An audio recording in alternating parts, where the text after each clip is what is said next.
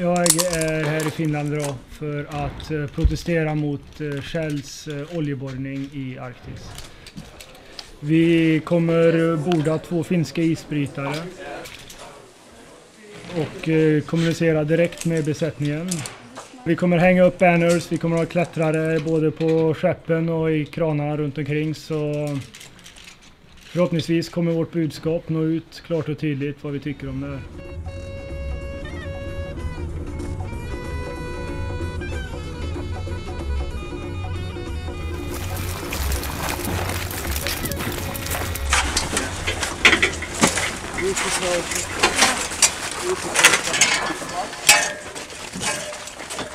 Det som skrämmer mig med hela den här operationen det är ju eh, Shells beredskapsplan för ett, ett oljespill eller, eller snarare det de inte har i sin beredskapsplan.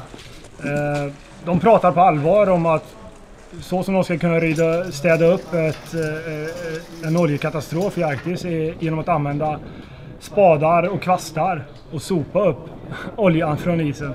Och vi kommer ju alla ihåg Deepwater Horizon-olyckan när det var upp mot 9000 fartyg som deltog i arbetet med att städa upp. Men i Arktis då, där, eh, där ska den enda lösningen själv ha det att använda mankraft med kvast och spade. Jag hade ju mm, privilegium privilegien att få besöka Arktis själv för ett par år sedan. Och de känslorna jag satt kvar med när jag kom tillbaka var... Jag var, jag var liksom... Jag var helt tagen över det lugnet som var där uppe. Över hur orört och hur rent allting var. Och, och, och bara tanken för mig att, att de här beger sig upp dit utan en sån ordentlig plan på hur de ska lösa en, en, en stor katastrof. Eh, för mig det är inte acceptabelt.